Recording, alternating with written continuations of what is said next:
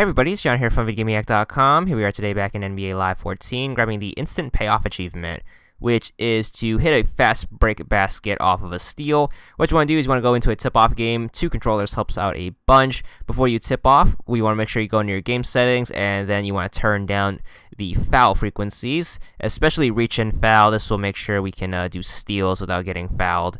So once you do that, you want to start the game. You you want to make sure you get the ball with your second controller.